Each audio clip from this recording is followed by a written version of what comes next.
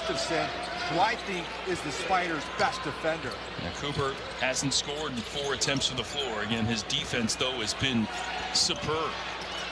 Henry turns and scores. Throws coming here for the leading scorer for the Spiders. Look, I, I like the jump hook, but what I love